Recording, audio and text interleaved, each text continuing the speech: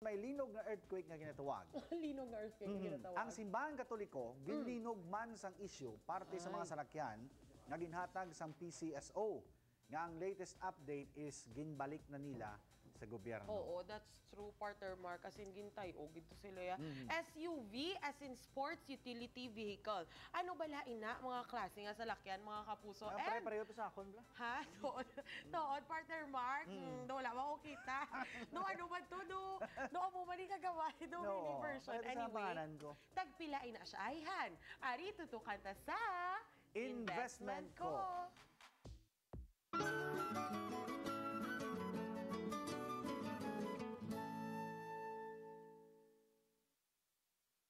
Sport utility vehicle o kung mas kilala sa tawag nga SUV. Isa ini ka family car nga sarang makasakay sang tubtub sa napulo ka pasahero, depende sa kadakuon. purely family use lang na siya mo. Para sa kung may mga damo kada bata o mga utol, pamilya ka mo, pwede mo na magamit siya. Eh. Pang pamilya gid siya, makargahan mo, o kung pwede ka maga- magamit mo na sa mga negosyo mo, pwede mo na pang dulong sa eskwelahan sa kabataan mo. Kaya iti ang kapasidad sila dako compare sa auto. Ano bala ang mga halimbawa sang SUV?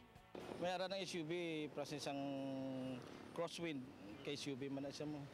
Ang CRB, ang Adventure, Revo, considered as uh, mga SUV na sila. Sa mga interesado mag-invest sa sininga klase sang salakyan, ari ang range ng presyo sang brand new kag sang second hand nga SUVs. Ang brand new na mga 900 to 1 plus mo na siya mo. Ti 900,000. 900,000 to 1 million above. Eh, may araman niya depende na may subong may mga used car nga ginabaligya nga mga SUV. Uh, range na siya from 350 to 400 depende sa tsura sina. The most sina 600 to 700 amo na siya. Kung gamit na na yan. Kung gamit na na siya.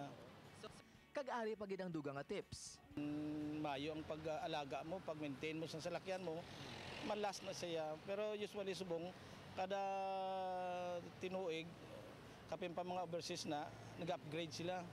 Ang ilang nga daan na, baklo nila, let's say 450, the next year na, o mga after 2 years, mabaka na sila sang lain naman, i-upgrade nila na. Ti, ang 450 na, kung anong ginbakal mo last time to, pwede mo na siya mapresyuhan mo sa 450. Kung may sulusobra ang inyo budget, hindi gid mangili nga mag-invest bangod a good